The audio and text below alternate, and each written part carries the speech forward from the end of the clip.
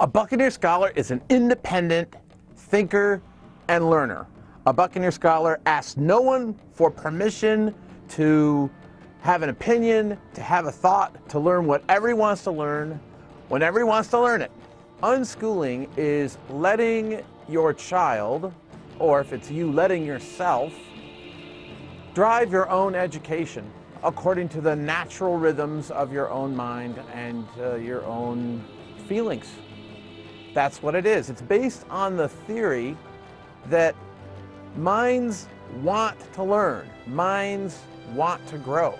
So what I do with my son is I, I surround him with resources and books and I do all my learning right next to him.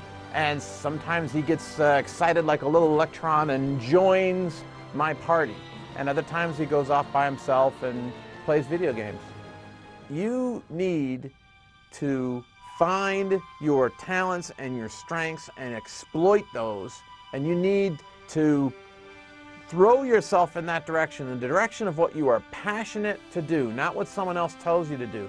Education is the mind I have constructed and my process of constructing it.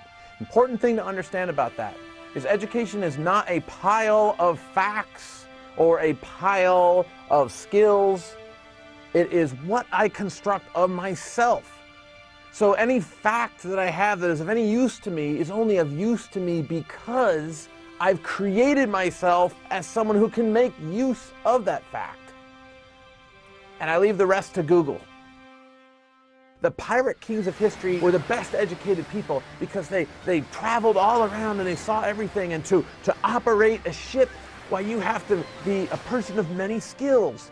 And and you encounter other people with many skills and you became a, a master of business and a, a, master of technology of the highest technology of the time. And i got very attracted to that and i said you know that's how i learned i'm like a buccaneer. It, it blew my imagination open and ever since then in 1990 i've called myself a buccaneer scholar and it just took me oh another few years to uh, be successful in writing about it